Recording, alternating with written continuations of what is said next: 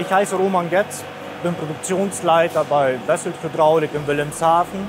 Wir sind Hersteller und Entwickler von hydraulischen Ventilen für die mobile und stationäre Anwendung.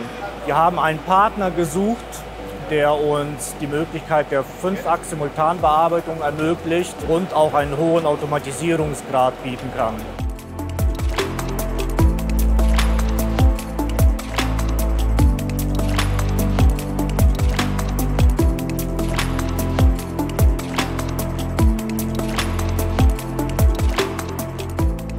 Mein Name ist Uwe Dirks. Ich bin hier zuständig für die Abteilung Bearbeitungszentren. Also wir haben in 2020 angefangen, ein neues Maschinenkonzept uns zu überlegen. Und von Anfang an war auch die Firma Grob mit im Haus, auch andere Hersteller. Die Planung ging dann ungefähr anderthalb bis zwei Jahre bis zur Umsetzung.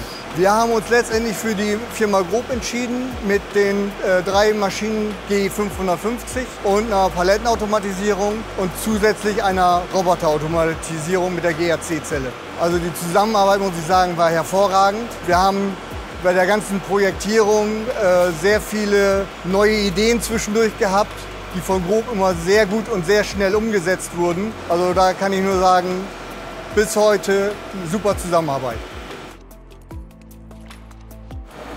Mein Name ist Ralf Birkle. Ich arbeite bei der Firma Grob in Mindelheim und bin in der Projektierung Teamleiter. Wir haben mit der Firma Wessel zusammen ein Projekt ausgearbeitet. Es ging bei dem Projekt um die Fertigung von Einzelteilen und Serienfertigung.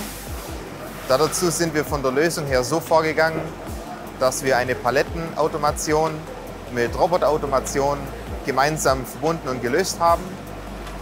In Summe drei Bearbeitungszentren, Fünffachsbearbeitung mit Pyramidenspannverrichtung und so konnten wir es erreichen, die beste Auslastung in der Produktion zu erreichen.